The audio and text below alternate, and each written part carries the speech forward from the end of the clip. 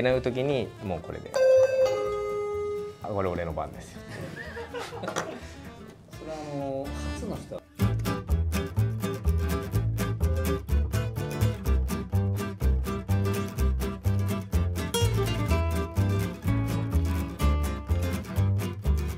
じゃあ改めましてよろしくお願いします。お願いします、はい。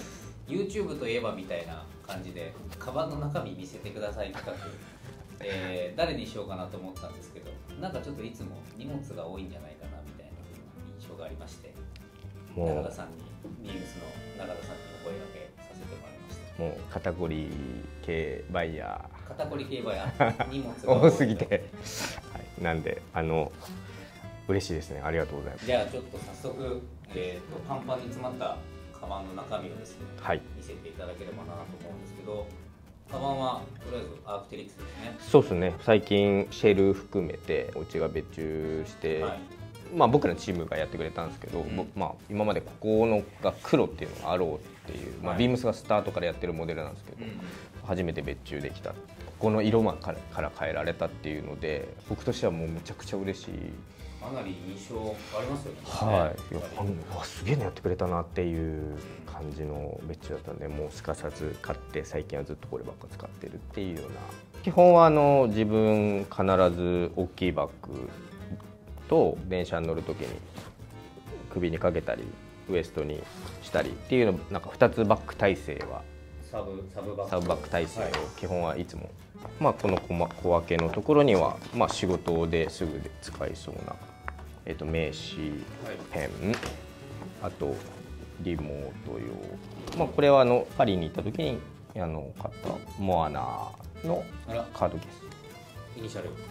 あ入れてます、ね。はい、パリで買うとつけてくれるっていう。なるほど。いいですねはい。上品な脂肪がは。い、で僕名刺結構交換することがあの多いんで、やっぱたくさん入れられないと不安なんですよね、なんであのこれむちゃくちゃ入るんですよこんな感じで。本当に100枚ぐらい入れる気になれば。あ嘘つきました。えっと4 5 0枚まあは入りますよね、はい。うん。いいですね、はい。名刺よりちょっと大きいカードというかあれも入れられるぐらいのね。これもう10年近く使ってあそうなんですね、はい入れますね、あとこれはあのスタンダードサプライまあ僕好きなブランドなんですけど、まあ極限までシンプルでベーシックを追求しているブランドなんですけど、展示会でいただいたノベルティで商品の企画とかもするんで軽いラフ画とかを描く時用に使うペン類、まあ、僕はもうこれしかほぼ使わないんであとこれコスのリモート用のあのヘッドホンそのまあ Bluetooth はい。じゃあ続いて。はい。じゃあそのままビジネスつながりで言うと、まあ、これはまあ単純に PC ですかね。PC 関連ジャンスポの PC ケースを使ってます。洋服に応じてバッグをいろいろ変えたい派なんで、はいまあ、なるべく物をダイレクトに入れるっていうよりは移し替えてうん。基本は全部完結するようにする、基本全部ポーチとか袋類でまとめるっていうのが自分のやり方なんで、まあ、基本はほぼほぼポーチで全部構成されてるというようなうん。感じです。この辺ちょっと、ね、この辺。じゃあこれは、まあ、昔ノースフェイスさんとコラボレーションさせてもらった時のあの防水のポーチをここに大体あの今日は雨降ったり暑かったりしそうだったんでショーツをちょっとまあ置い込んで。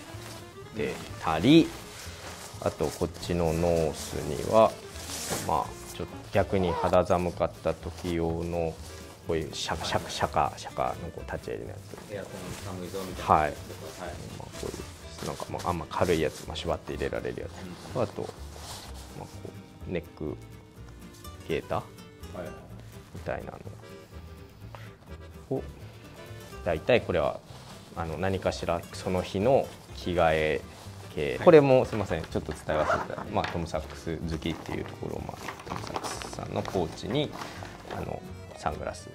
はい。今日はレースカーを入れてますけどまあ大体1個2個。うんっていう入れてるって感じですかね。サングラスケースとして。使ったりしてます。はい。続きまして。はい。徐々にバッグの中身から。でまあもうここれがまあ大体いつものドン。ほぼ変わらず中身入れ替えるだけの。これサイさんのやっぱこのパーソナルエフェクツバッグねやっぱ最近男性もみんな持ち始めた。まあ楽っすよね。20周年の記念でもらったやつなんですけど、まあこれ大きさもすごいちょうどいいんですよ、うん。このなんかいろんなものをうんまとめて入れてバッグへ移し替える中身にしてもすごい調子いいんでこれを使わせてもらってます、でそこの中にはまたポーチポーチポーチポーチって感じです。ポーチですね。っていう基本はポーチだらけって感じなんですけど、この辺はあのバッテリあ携帯。ー、はい、ループイラーさん。かわいいですね。これ可愛いですよねループイラーさんのバッテリー。あバッテリーとはい。ケースとケース。セット。まあと携帯依存症なんで僕。僕嬉しかったです。あのユナイテッドアルさんああの淳二さんにいただいてめちゃ使ってますっていう。これ使ってる方結構いますね、これも嬉しかったで同じくし仕事っぽい感じで言うとイヤホンヘッドホン関連予備な予備。はい。でこれはあの車とか運転もしたりメガネうん。折りたたみのメガネをいつも。それじゃあ土入りで。土入りにしてるのあのメガネを使ってます。これ新しいブランドニューライフプロジェクトっていうあの知り合いがやり始めたブランドなんです。うん。次がえっと、これパックセーフで家の鍵関連と、まあ、車のうん。会社の車用とか乗ったりもするんでこういうのを入れておいたり。車をなんか窃盗盗むのにはキーに何かこう電波を反射させて盗む手口があるらしいんですよ。えー。でこれこのパックセーフってあのいわゆる電波を遮る通さない。通さないバッグなんでまあこれに入れて保管すればあのやられないかなっていう。う、ん。この辺はあのアメニティ関連。困った時のマスクまあ、いわゆる歯ブラシ関連香水。僕絶対必要なニベア。顔拭き。はいはい。ブレスケア的な。アルガンオイル。ロンはいあ髪の毛海上がった時とか髪の毛ボッサボサになるんでそれを抑えると。あとはまあこれはいつも通りえっと携帯はい。財布はい。通行証会社の。はい。とタブレット。フリスク大好きなんでもう僕フリスクを欠かすともうすぐ口臭くなるんで 基本フリスク。欠かさない。と、はい、かかフリスクのブラックは必ず毎日持ち歩いてこれ出ましたね最後に。ちょっとカップヌードルさんにお願いしてあのこのポーチを逆側スペースビームスって書いてある。リモートってなんか飽きたりなんかコミュニケーション取りづらいじゃないですか。まあそれちょっと小ネタは必ずいつも持ってるんですけど、まあ、こういう出てきましたねパーティーグッズこれねこういうの。何かちょっと話に困ってそうなタイミングでヌーベイ的に使うとか。ちょっとブラックジャック的にね使う。あとあのこれ。これあの必ずリモートでお見合いしちゃうじゃないですか。はい。誰が喋るみたいな、はい、あってなる時にもうこれであこれ俺の番ですよ。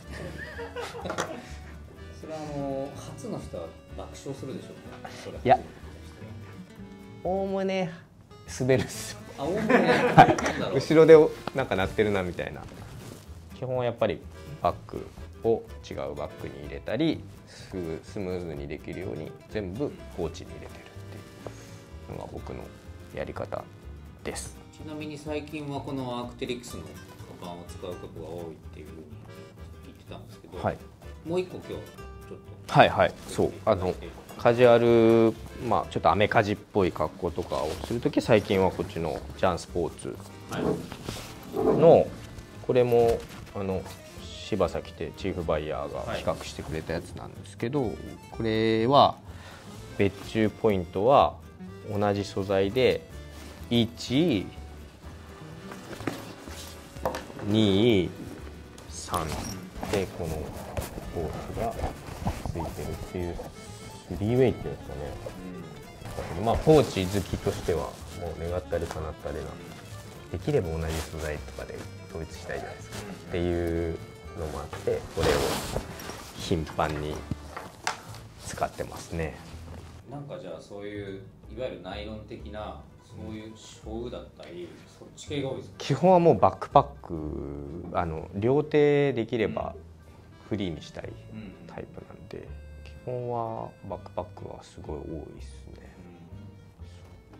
という感じで大きいカバンからちっちゃいカバンまではい。替えのカバンまで持ってきてもらったりしてポーチ男としてはこんなに並べて綺麗に並べると気持ちいいですね。こういうのもうキュンキュンします僕カバンの中身で言うと出張する時とかもね中身だとまた違うはい。洋服とかシャツどういうの持ってくとか、うんまた違った側面があの見れると思うんでまたそんなのでもぜひぜひ。もう出張の出張の方が僕パフォーマーになれると思います。はい。という感じで、はい。またいつかの声をさせてぜひぜひ。はい。すみません。なんかお粗末様でした。はい